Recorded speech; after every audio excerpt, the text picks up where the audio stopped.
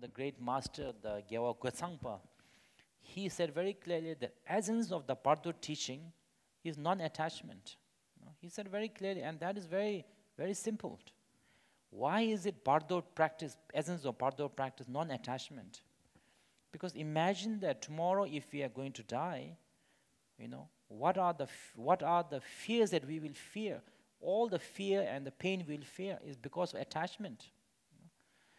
People say that, ah, I'm not afraid of death, you know, I'm, it doesn't matter. Right? Maybe it's because those of us who say like that have not really put ourselves in a place of you know, how the dying process might feel.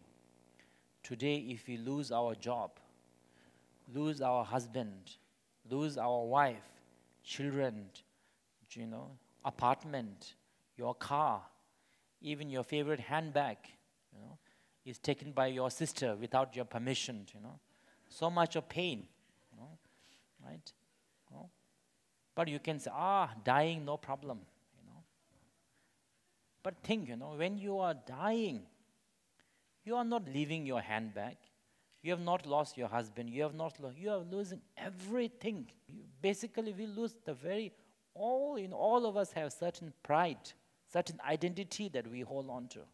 I am self-made something. I am this, I am a father. I am a mother. I am everything. All of these things will be suddenly taken away from you without any warning.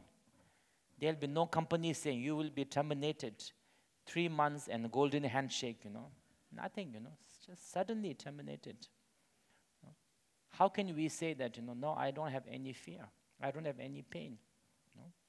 You know? Especially if you die suddenly, maybe you are lucky in that way, you know. But if you know, if the process of dying, you know, slowly, the slow death comes, you know, definitely there will be lots of pain and lots of, you know, the pain.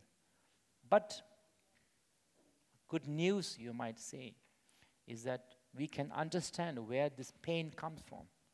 The pain comes from the attachment. Right? If your sister borrowed your favorite hand, not your favorite handbag, you thought that, ah, oh, she took my favorite handbag, and then when you check again, it is the handbag that you didn't like. Suddenly the pain has disappeared.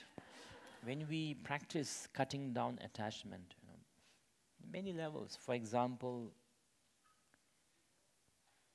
directly, you know, the directly cutting down the attachment practiced, you know, the kind of, you know, from especially from the, uh, the you can call it the Sutrayana way, is generosity. Whether it is offering to Buddha Dhamma Sangha, whether it is giving to sentient beings who are going through suffering, you know, because every time we do offering, you have to cut the attachment. The fact that you know, every time you do, when you do offering, you, if you are able to do offering genuinely, means you have been able to cut attachment to that amount or that value. You know, that's that part of the value, right? If you're going to beggar and you check your pocket, I say, oh, hundred dollar, no, put it back. You know, five dollar, oh, okay, no problem, right? That means you're able to let go of the five dollar if you can't even do that, you know, that means even $5 you cannot let go. Right?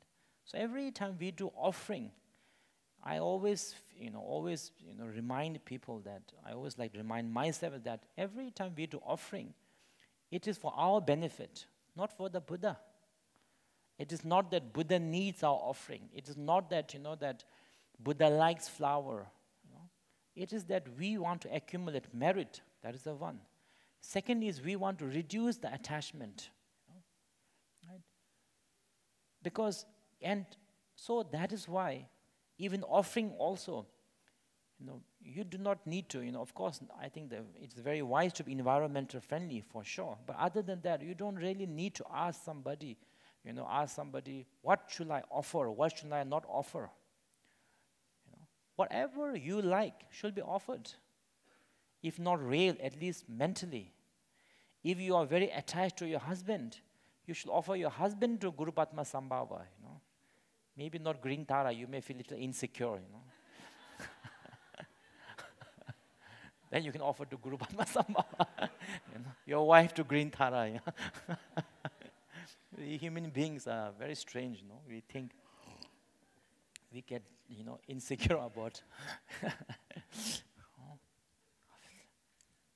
so, so since you know, in our prayers we cannot really put like that, right? We cannot put, you know, Argam means your husband, you know, Padam means your wife, you know.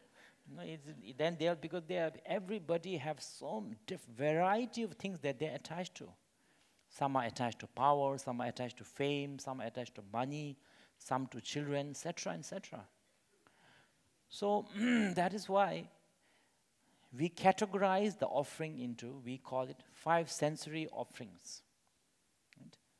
What you find beautiful, be it your flower, be it your appearance of somebody, or be it appearance of your home, your car, your clothes, your bag, all of these are you know, the something that gives pleasure through the sight. So that is why we know the offerings are offering all the things that appears beautiful to my eyes is offering. All the sound that is pleasant to my ears, not only the bell, the music, etc. Everything, from Justin Bieber to Taylor Swift to you know Chinese zither to everything, or even compliment, is a sound, right? we love to be complimented. And because we love compliment, we cannot take criticism. You know? Attachment, desire always produce the hatred. Right? It is, all comes together. So, and then similarly, we like taste. That is why we go to restaurant and if the, or maybe in our Boeing 747, we are still in the airline, no? No? The food is not very good we'll complain to the stewardess and we'll write a complaint letter also when we land, know, because of the taste, right? The attachment to the taste. And then attachment to the touch, the sensation of the touch, the cloth, physical touch, the warmth, etc. So the five sensories and the smell too.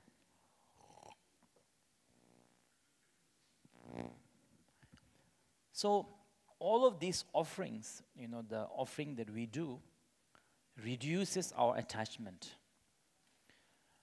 And in terms of the merit, you know, we say that in terms of law of karma, it works in such a way that if you offer something beautiful to, you know, the others, offer or gift, you receive something beautiful. Flower is, I think, the karma to have a beautiful form. You know, either offering music or speaking kindly to others is the karma for you to receive the, the you know, always pleasant sound and pleasant news, etc. In day-to-day life also it works. When you speak kindly to others, they also speak good to you. If you speak harsh to others, they will also speak harshly to you. You say that generosity is the cause of the, you know, the wealth. And I think it is very true because the wealth is something that you can utilize it. You can't really own anything. You may have a very nice house right now, you know, and you th- we think that I own that house. But the question to ask ourselves do, I, do we really own the house or do we have the authority to utilize it? Because if we really own the house, after we are gone, how come, how come there's somebody else who says, I'm the owner? And before we bought the house, there's somebody else who was the owner. So, you know, so uh, generosity gives us, reduce our attachment that we have ability to utilize what we have. So anyway, the attachment to the, the so these kind of offerings, you know, that we do are ways to reduce the, the, the, the first level of, you know, the attachment, you know, first level of attachment directly re- reduced through that. Now the second level of you know the reducing the attachment are through the practices such as Yangtik practice, the Tara practice, the visualization practice. For these practices, you know, we instead of saying that you know I offer a flower to the Tara or I offer, of course, in the Tara practice also we do the you know, but there is a little bit kind of a deeper practice of not only not only offering the flower, but realizing the non-existent of the flower. So when we are able to, you know, the understand you know, through the visualization, the non-existent or not or undefinable. I, I, I will prefer the word undefinable. Because when we talk of non-existent, immediately the image that comes to our mind is empty, you know, like nothing, like empty cup. But when we say undefinable in our, it is not something that I made it up also. Even in the, our sutras, it is said, it is called the nguzung tewa. Ngo nguzung tewa means nature nature of all the phenomena cannot be defined. Because to define something means something has to exist. I define that this exists as a gold because gold is real. Then you have defined it. But then what is gold? Gold is also made up of certain other metal elements. Yet it is not something that is empty, nothing, but that nothingness, like the scientists say, you know, that when the, the Big Bang happened, they say the space exploded into reality and this universe came about. You know? Similarly, the, the very emptiness has, you know, is the form it appears as a form. That's why we say emptiness is form. Other than emptiness, there's no form. It's, so it is kind of, you know, that, that is why I will say undefinable. And our job is not really to define it, but to break down other definitions. You know, that is the essence of the practice. So when we are, anyway, so when we, you know, understand that, when we understand that all the, you know, the so-called, the firstly, we reduce attachment through the you know, the offering. Another thing is that, yes, another one of the reason, another reason why we do in offerings, be it mandala offering, mandala practice that in the, in the preliminary practices, or other practice is, you know, right now, because we are so attached to the, to our, not only to the object, you know, we are not really, actually, we are not attached to the object, we are attached to our idea of what that object represents. For example, you are not really attached to your husband per se. Your at attachment to what, you know, the, not the person, but your idea of that person being your husband, being someone wonderful to you. you know? So that's why the moment your idea of he being, he or she being a wonderful husband changes, you don't have no attachment to that person, you know. You are happy if he has gone after your life.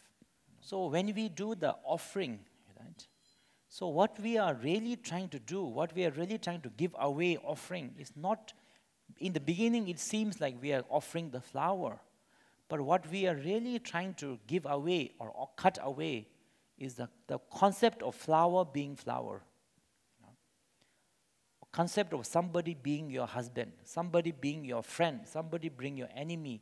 That concept is what we are really trying to offer. Now, why? Why do we want to do that? Why do we want to give away that concept?